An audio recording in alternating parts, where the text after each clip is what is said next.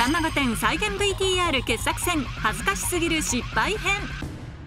2019年12月24日放送。自分はもう若くないんだなと思った時。会社で。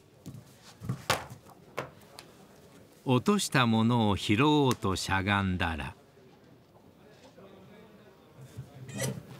そのまま立てなくなってしまった時。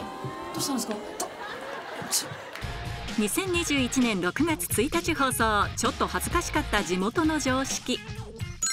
はい。山形県では。まず1カッコテーマを選ぶ。10スポーツ20ブックス。カッコ1を1カッコ丸1を10と言っていたが。本日はよろしくお願いします。大人になり営業先でプレゼンをした私時の高性能カメラマイクロ X2 の概要です。お手元の資料。3カッコ10に詳しく書かれています。えー、っとさらにですね4カッコ50をご覧いただくとすいません。どこのことですか？と言われたこと。2019年12月24日放送。今年最も恥ずかしかった出来事。ケーキ屋さんで10月だったのでハロウィン限定のイベントをしており。あのトリックオアトリートって言ったらラスクもらえるんですか？はいそうなんです。じゃああのトリックオアトリート。あと照れながら言うと。のこれ小学生以下のお子様限定なんです。と言われ恥をかいたこと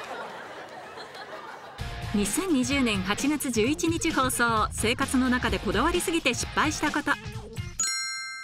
読書をするときは集中するために耳栓で音を遮断しているのだが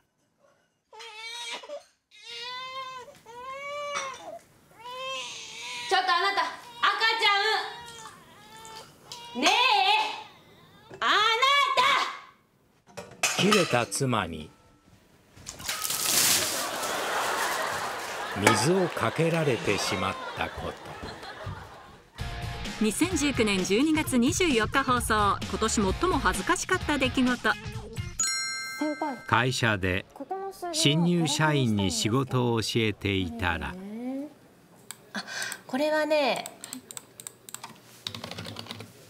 こうしたらできるよ。先輩すごいです。憧れです。と褒められて嬉しくなり「よいしょしないでよ」というつもりが。もうそんなわっしょいしないでよ。と言ってしまったこと。2018年7月10日放送。私が周りにドン引きされてしまったこと。授業中あまりの眠さに爆睡していた私は。これがさっき説明したこの鼻血が出たことにも気づかず眠り続け。これ重要だから次のテスト出すぞ。おい田中。おい田中大丈夫か？教室中が大パニックになったこと。ということで「さんま御殿再現 VTR 傑作選恥ずかしすぎる失敗編」でした